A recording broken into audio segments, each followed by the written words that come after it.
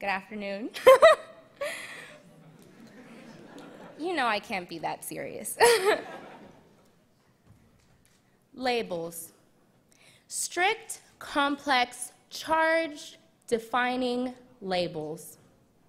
Prior to my time here at Georgetown, I felt like people used labels to tell me what I can and cannot do, who I am and who I'm not.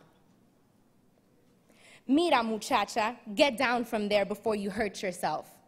Little girls don't change light bulbs. That's what men are for. Of course, there was no male figure in my household. So when my mother wasn't looking, I kept changing light bulbs and clogged sinks and toilets and even bad antennas with foil. Now, I don't know how many of you remember antennas. But I sure do because they always got in the way of The Simpsons, a TV show nobody in my immigrant household knew wasn't age appropriate for a seven year old. Labels. As a high school student, I started questioning my sexuality after my mom was convinced I was in love with my best friend. I would ask the lunch table their opinions, and they would respond, You're not a lesbian. You're too pretty for that. Of course, after four years of deconstructing the meaning behind everything, I still don't know what being pretty means or what that has to do with my sexuality.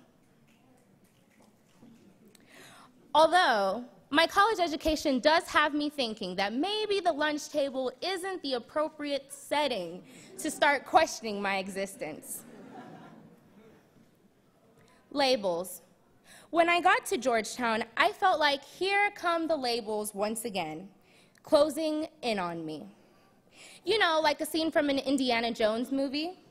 Myself, starring as Indiana Jones, of course, trying to grasp for something, some sense or idea of who I am amidst 4,000 other students. And then, and then you grab what you're looking for, and all of a sudden, the walls in the ancient tomb start closing in on you. My first year at Georgetown, people told me I was everything from black, Moroccan, Persian, to Jordin Sparks' little sister. You can't make these kind of things up. Those were the walls boxing me in. I remember one time I was sitting in class. Actually, no, like 15 times I was sitting in class. And somehow I was called upon to be the voice for someone else's community. Someone else's community I had no idea of. It was exhausting, frustrating. Then I came to the realization I don't have time for this. I don't have time to be the mixed, Latina, queer, feminist chick in your class. And I don't have time to also be a full time biochemistry major. So, like any other typical college student who changes their major four or five times, I, of course, dropped the biochem major. You see, I knew that my love of science and health would always be there. But it was time to create change.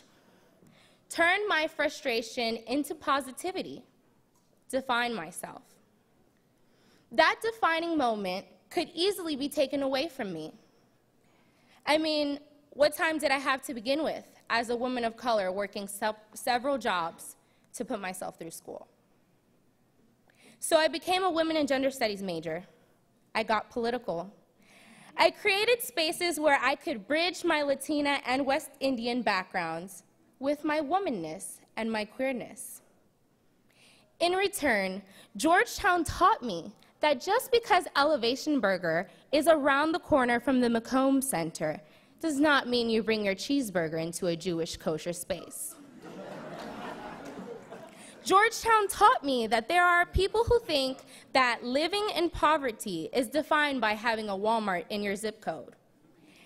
And that's okay because you just have to remind them that they complimented your yoga pants from Walmart last week.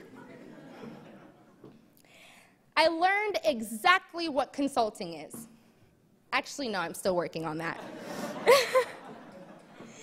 I learned that when you fall off a horse, literally fall off a horse, maybe you should go to the doctor instead of trying to turn in your thesis on time. I learned that when someone at Tombs shows you a disturbing picture of your friend in the student no newspaper, the Hoya thing is to voice your concern in Red Square. Interreligious understanding, academic excellence, cura personalis, contemplation and action, community and diversity. These are the values I learned through all my trials and triumphs at Georgetown University. I learned that the labels that once were so constricting and predetermined could come together to build community, to solve problems, to foster love. That these Jesuit principles we see on the flags all around campus are what finally have me gently correcting people who put a label on me instead of rolling my eyes in frustration.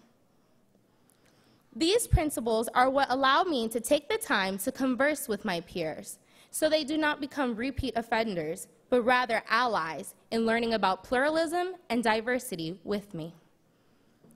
Because what does it mean to be LGBTQ? It is more than just lesbian, gay, bisexual, trans, with an asterisk, queer, or questioning. It is more than just a label.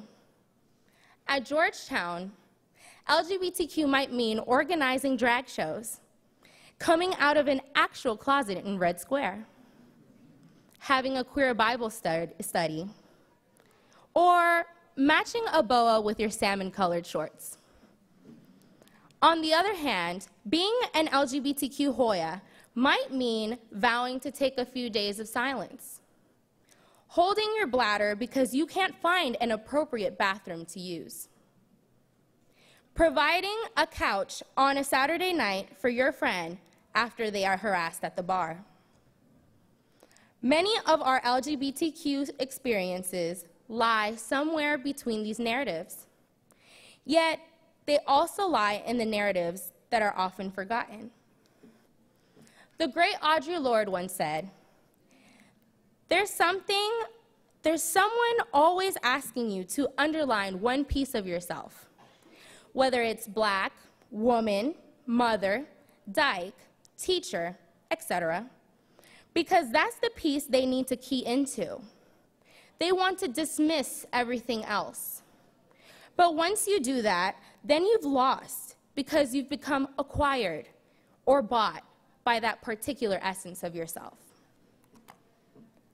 Taking Audre Lorde's advice, your LGBTQ experience may be that time you made history and won Mr. Georgetown in all your lovely drag.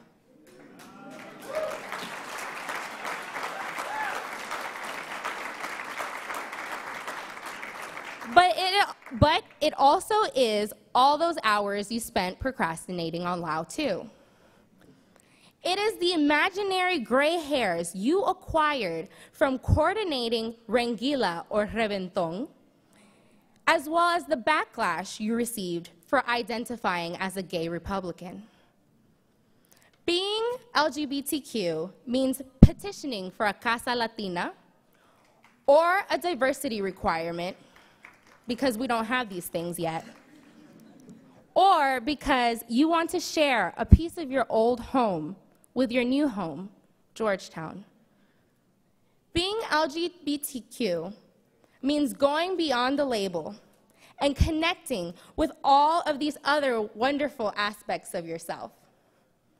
And while there is no one particular LGBTQ narrative, there is this sense of solidarity that comes from sharing our differences and challenging norms. If there is one thing I want my LGBTQ family to know walking through here, is this. It is the importance in continuing this community because it is through relationships and intersectionality that we truly gain a sense of ourselves here and beyond. Aside from the labels and against the odds. Labels. Labels? We are Georgetown.